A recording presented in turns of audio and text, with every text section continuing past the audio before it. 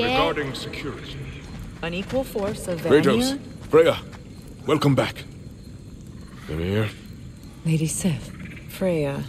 it speaks volumes seeing you here in person. The first of the Aesir to visit us in peace. Really, Your Majesty? It's the capacity of the Vanir's forgiveness that speaks volumes. we know Asgard was more than Odin and his Einherjar. If they'll help us rebuild, they're more than welcome to stay. Aesir and Vanir living together. I never thought it possible. I imagine a severe lack of options for the Aesir helped ease things along. Oh, Mimir. It has truly been a pleasure not listening to your prattling commentary for the last hundred winters. Well, excuse me, milady. A hundred winters of Mimir bleating at court?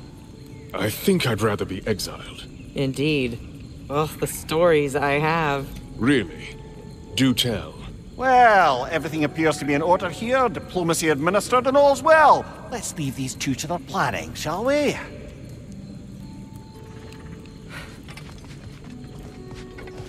Back to it then.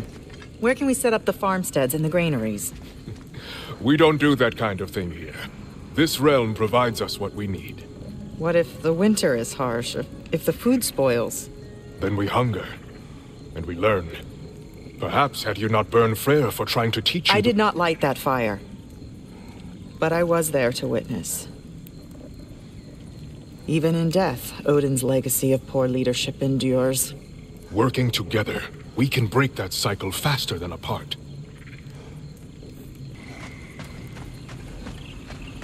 You saved them, Freya. I did nothing. No. I did nothing. Scratching tally marks into a cell while the world ended around me. You returned to your people. You endured their hatred. You helped them become more. Freyr and his soldiers. They survived. They endured.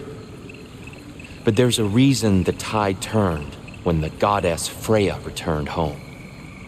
Your love of this place. I can feel it. Smell it in the breeze. Anyone can. That love makes you strong. Makes your people strong. It's why you won. I. Thank you.